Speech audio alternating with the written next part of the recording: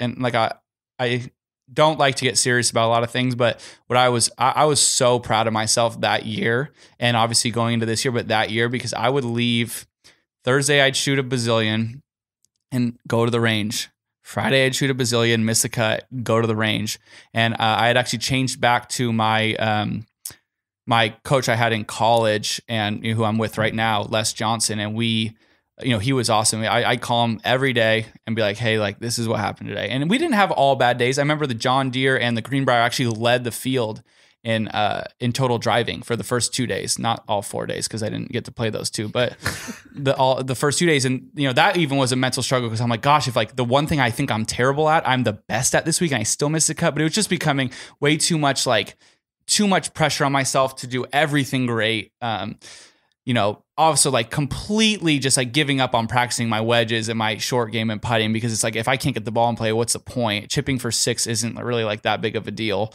Um, so, uh, but I'd have weeks where it was just, you know, I would just be like, okay, I'm gonna miss a cut, but I'm gonna grind as hard as I can, and every single day, every single day, I'm gonna learn one new thing about it, and and just be so freaking prepared for when it comes around. And I I I posted it on my Twitter after I think I got my card.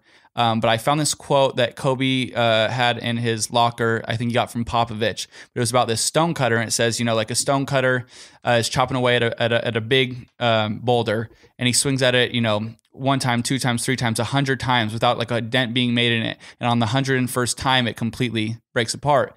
And it says, a wise man knows it was not the hundred and first blow that did it; it was the hundred that came before it. And I was like this is me right now. Like this is how I'm going to like leave my mark on this game, and this is how I'm getting back. And I got, I got, I, I, was fortunate to have a career in general, like that. I've made a good amount of money where it wasn't like a massive financial, like it wasn't on my brain, like that. I was just like siphoning off money.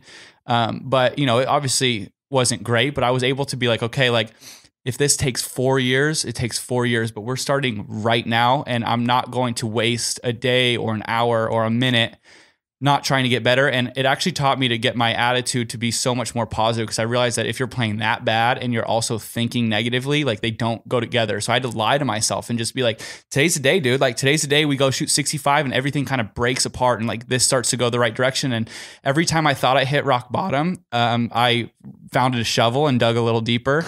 And it was shocking. I would come off golf courses and just like in shambles, like mentally, and just be like, man, like maybe I'm not supposed to do this. And then, you know, I'd be like, all right, wake up in the morning, going to practice. And I, am very, very proud of myself for doing that. Um, it was hard and it makes this year feel like I haven't felt what I felt uh, when I got my car back in, in, in uh, Canterbury in Cleveland a couple weeks ago. Cause I have an unbelievable group of friends that supported me and never, you know, like, you know, you lose, you, you lose a lot of people when you do this. Like I got a lot less text messages, you know, obviously when you're playing bad about hanging out, but my friends stuck by me and, it was cool to get texts from certain people and then be like, man, like I know what you just did. And like that was impressive. And I was like, for the first time, I was like, I agree. Like this one was cool.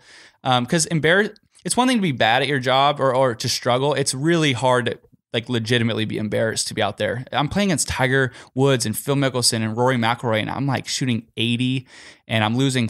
I thought I think one term I lost in two rounds, 14 shots to the field in total driving. And it's just like, what are you doing out here, dude? Like, and and I know deep down I'm better than this, but you just think you get stuck in this rut, and you know glad it obviously turned. Um, I just wanted to leave a mark of um, resiliency, uh, you know, and I thought that that would be that would be who I am. Some people are great at hitting a seven iron. Some people are great at putting. I'm going to be like the toughest guy you've ever met, and like that's in my head how I kind of tried to spin it.